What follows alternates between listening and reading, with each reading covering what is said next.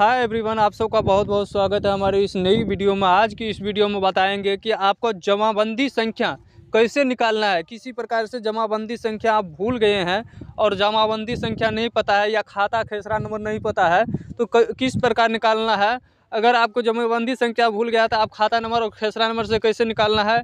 या खाता खेसरा नंबर भूल गया है, वो भी कैसे निकालना है, सारे स्टेप बाय स्टेप आपको इस चैनल पर आपको बता देंगे और आपको सारा सोल्यूशन सॉल्व हो जाएगा। सबसे पहले हमारे वीडियो पर नए आए तो वीडियो को लाइक और सब्सक्राइब ज़रूर कीजिएगा, ताकि ऐसे ही वीडियो हम जब भी लाएँ तो आपको पहुँच सके सबसे पहले। चलिए, सबसे पहले हम अपने मोबाइल के क्रोम ब्राउज़र या लैपटॉप के क्रोम ब्राउज़र पर आइएगा, उसके बाद आपको भूमि जानकारी टाइप करना है। भूमि जानकारी टाइप करने के बाद कुछ इस तरह का वेबसाइट ओपन होगा। यहाँ पर देखिए Bihar Bhumi dot Bihar dot G O V dot in जो कि बिहार का ऑफिशियल वेबसाइट है। इसी पर सारी जानकारी आपको प्रोवाइड होता है, इसी पर सारे काम होता है। यहाँ पर यहाँ पर क्लिक कीजिएगा। यहाँ पर क्लिक करने के बाद कुछ इस तरह का पेज ओपन होगा। इस तरह का पेज ओपन होने के बाद यहाँ पर नीचे आइएगा। यहाँ पर देखिए बहुत तरीका का जो कि है। आपको जो कि जमाबंदी संख्या देखना है। यहाँ पर देखिए, यहाँ पर चार दुनिया आठ।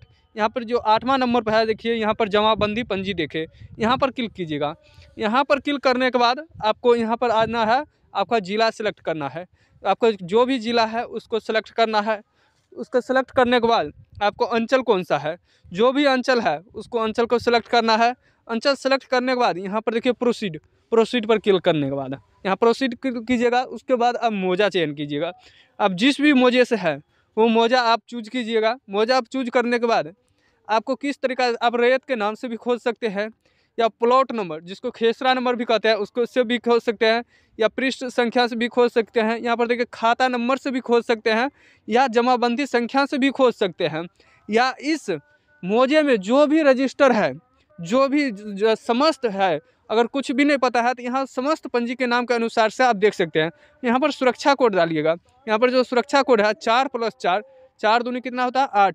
यहाँ पर आठ क्लिक कीजिएगा, उसके बाद सर्च कीजिएगा, जो कि उस मोजा में जितना भी रेत है जितना भी जमाबंदी रजिस्टर किया है, उसका सभी का आपका निकल के देख, देखने को मिल जाएगा।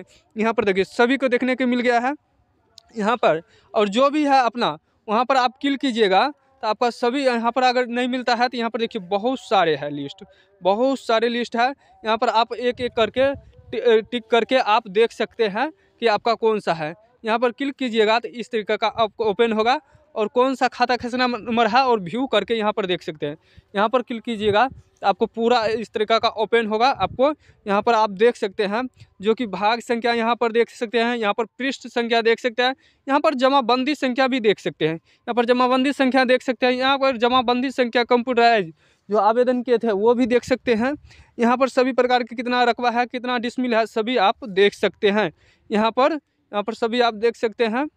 यहाँ पर जितना हो सके यहाँ पर देख सकते हैं। उसके बाद अगर प्रिंट करना है तो आप यहाँ पर क्लिक करके प्रिंट भी कर सकते हैं और रख भी सकते हैं।